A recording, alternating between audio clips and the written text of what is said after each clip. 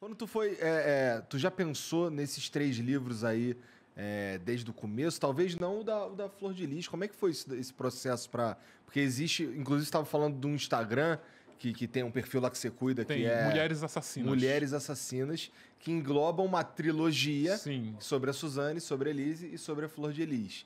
Mas é, não foi a ideia inicial fazer uma não, trilogia. Não.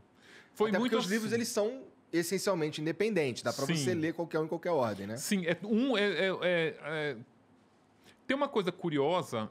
O, o- o Igor até me perguntou lá atrás, o Igor não, o Vitor. Ah. É, porque eu lancei o livro da Suzane, eu era um autor desconhecido. Eu era, eu era conhecido no mercado como repórter, no mercado no jornalismo. Aham. Eu já, já, já era conhecido. É, mas no mercado editorial não era de livros. Então, quando eu lancei o livro da Suzane, eu fui tratado no início como autor iniciante. É uma tiragem muito baixa, a gente não sabe se o livro vai vender. Só que aí, o que aconteceu? A Suzane entrou na justiça para proibir o lançamento do livro e conseguiu. Ela conseguiu na primeira e na segunda instância. É por isso que ele tem um splash amarelo na capa dizendo o livro que a justiça proibiu. Quando a Suzane resolve proibir, na conseguiu na justiça proibir o lançamento do livro, ele explode na mídia. Eu até brinco dizendo que a Suzane foi a minha maior marqueteira. Porque aí começou a É Folha- sempre esse o efeito. É, o efeito é sempre É. esse. Né? Aí ela conseguiu, ficou lá o livro proibido por 37 dias. Ela conseguiu na segunda instância. Quando ela conseguiu na segunda instância, já, já esse livro não vai mais sair, né? Mas aí, graças ao, ao meu advogado, Alexandre Fidalgo, que é um cara que já, já tinha trabalhado comigo porque ele era advogado da Veja, e todas as vezes que a gente era processado era ele que ia defender a gente.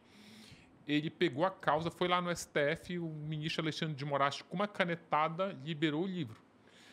Quando ele libera, a Suzane ela proibiu o livro antes do lançamento, foi o maior erro que ela teve. Por quê? Porque aí caracterizou censura prévia. Como é que ela está proibindo algo que ela nem viu ainda? Ela não leu, não sabe o que tem dentro do livro. E é, Vacilou mesmo, ainda é, vac- bem, né? Ainda bem, é. É. Que aí, quando ele foi lançado, aí vira aquela, aquele slogan é, que fica na mente do leitor, né? O, o que, que a Suzane não quer que eu leia? O que, que ela não quer que eu saiba? Aí, cara, o livro foi, virou um best-seller na segunda semana, foi para a lista dos mais vendidos. Ele ficou nove semanas na lista dos mais vendidos da Veja, o que é, assim, a lista que todo escritor cobiça. Legal. Ela, ela foi, Porra, ela ficou na lista da caralho. Folha, ficou na lista da Amazon. E aí o negócio explodiu. Quando eu estava lançando o livro da Suzane, respondendo a tua pergunta, o advogado da Elise Matsunaga, que é o Luciano Santoro, ele foi no lançamento. Eu já conhecia ele, ele era minha fonte como repórter para outros assuntos, que ele é um advogado eh, reconhecido aqui em São Paulo. E aí ele foi no lançamento. O escritório dele é lá pertinho do Conjunto Nacional, na, na Livraria Cultura, onde estava lançando o livro da Suzane. E ele foi lá. Na hora que eu estava lá assinando, ele falou brincando assim, ah, e quando é que vai ser com a minha cliente? Que é a Elise. Eu falei, Fudeu. uai, na hora que ela quiser. Tá louco, irmão.